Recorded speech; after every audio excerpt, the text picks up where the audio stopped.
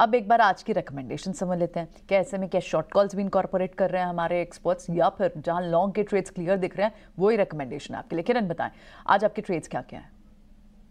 दो कॉल के साथ आए दोनों बाई तरफ़ है। पहला जो है वो फार्मा सेक्टर के अंदर से। फार्मा के अंदर हमने कल देखा कि मार्केट में इतनी एक बिकवाली थी, लेकिन कहीं ना कहीं फार्मा के अंदर एक रेजिस्टेंस हमने देखा कि मार्केट को सपोर्ट कर रहा है। तो सन फार्मा हमारा पहला कॉल रहेगा। डेली चार्ट के ऊपर हम देखे तो राउंडिंग बॉटम पैटर्न ब्रेकआउट या कंसोलिडेशन पैटर्न ब्रेकआउट भी मल्टीपल रेजिस्टेंस से कहीं ना कहीं नाइन फिफ्टी के ऊपर तो उसको क्रॉस करके नाइन तक के आसपास की क्लोजिंग थी।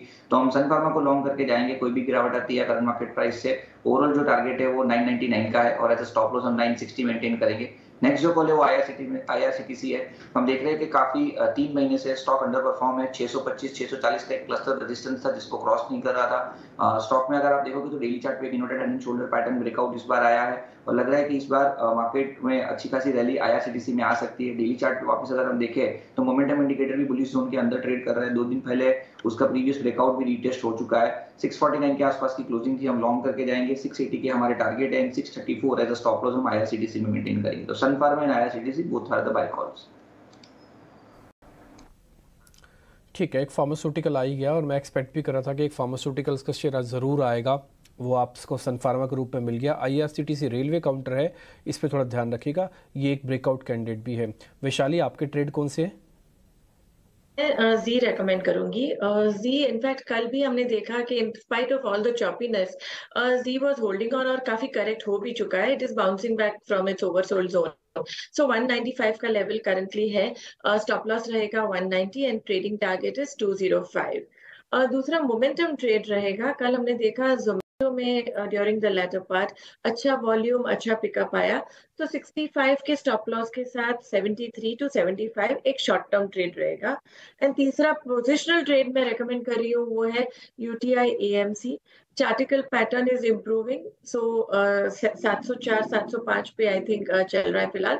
And I would look at a target of 740 with stop loss of 690 हो गई इंडेक्स पर स्ट्रैटेजी इंडेक्स पर आउटलुक हमारे एक्सपर्ट्स की तरफ़ से बटा हुआ तो कॉशियस आउटलुक मानकर आप चलें, क्योंकि वीकली एक्सपायरी है स्टॉक स्पेसिफिक मौके आपको मिलेंगे। सारे के सारे ट्रेडिंग आइडियाज़ इस वक्त तो खरीदारी की तरफ़ नज़र आ रहे हैं, जिसमें फार्मा है जोमेटो जैसे स्टॉक्स हैं, और साथ ही यूटीआई जैसे काउंटर्स जिस पर खरीदारी की कॉल आती हुई। हमारे साथ हमारी टेक्निकल पैनल पर कुश भूरा भी जुड़ गए उनका स्वागत करते हैं। गुड मॉर्निंग खुश हमने देखा, लगातार चार दिन की मजबूती के बाद, कल बाज़ार ने कमज़ोरी या प्रॉफिट बुकिंग का फेस दिखाया। ऑफकोर्स वीकली एक्सपायरी के ठीक एक दिन पहले इस तरह का मूव पॉसिबल भी है रैशनल भी है। लेकिन निफ्टी अठारह चार सौ के लेवल्स और बैंक निफ्टी चवालीस हज़ार के अहम सपोर्ट्स के लेवल के आसपास ही ट्रेड करता हुआ। आज के लिए स्टॉक स्पेसिफिक मौके तो बने ही बाज़ार में। बताइए कौन से ट्रेड आइडिया स्पॉट किया आपने? यू सभी को और सारे दर्शकों को a very good morning you are right you know इसे प्रॉफिट बुकिंग ही कह सकते हैं. इनफैक्ट अगर मैं टेक्निकली देखूँ तो एक गैप था निफ्टी और बैंक निफ्टी पे you uh, know you know, जो कल का जो फॉल आया है उसमें फिल हुआ है विच इज़ एक्सीलेंट अब मार्केट यू नो एक नए अपमूव के लिए रेडी हुआ है. आई वोंट बी सरप्राइज़ की वो अपमूव जो है वो आज ही आ जाए. तो इनफैक्ट निफ्टी और बैंक निफ्टी पे भी मैं कहूँगा कि बाइंग की पोजिशन होनी चाहिए. सपोर्ट्स के पास है. अगर थोड़ा सा आपको यू नो उन्हीं लेवल्स के आसपास उसको थोड़ा नीचे भी मिले तो भी आपको बाय करके चलना चाहिए. निफ्टी पे एटीन का target eighteen four hundred stop loss bank Nifty 44 400 का टारगेट 43 900 का स्टॉप लॉस लेकिन ऐसे मार्केट में the clear winner is you know stock pickers so यहाँ पे यू नो दो स्टॉक्स uh, हैं जो मुझे लग रहा है यहाँ से और अच्छा परफॉर्म कर सकते हैं। पहला है पावर मैक अगेन इस स्टॉक के बारे में हम काफ़ी ज़िक्र कर चुके हैं। The reason is coming up again is because already ये 3300 का जो एक हाई है वो मारने के बाद पिछले दो दिन दो से तीन सेशंस में थोड़ा म्यूटेड रहा है। कल ट्वेंटी डे एवरेज के आसपास सपोर्ट लेके फिर से रिबाउंड किया है विच मीन यहाँ पे मोमेंटम फिर से लौटता हुआ दिख रहा है। तो थर्टी थ्री हंड्रेड के इमीडिएट टारगेट के लिए बाय करें थर्टी फाइव हंड्रेड मेरा दूसरा पोजिशनल टारगेट रहेगा थर्टी वन हंड्रेड का स्टॉप लॉस लेके चले। दूसरा पिक है Minda Corp very similar story stock अच्छा खासा एक यू नो अप ट्रेंड में था। अब एक पॉजिटिव बायस के साथ कंसोलिडेशन है।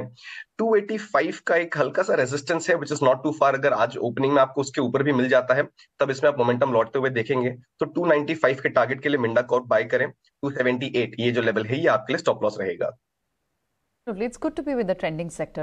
तो ऑटो एंसिलरी स्पेस से कुछ की दोनों रिकमेंडेशन है।